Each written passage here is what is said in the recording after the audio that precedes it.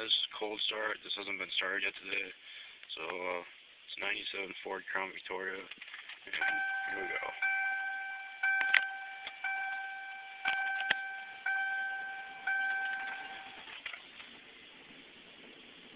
Perfect.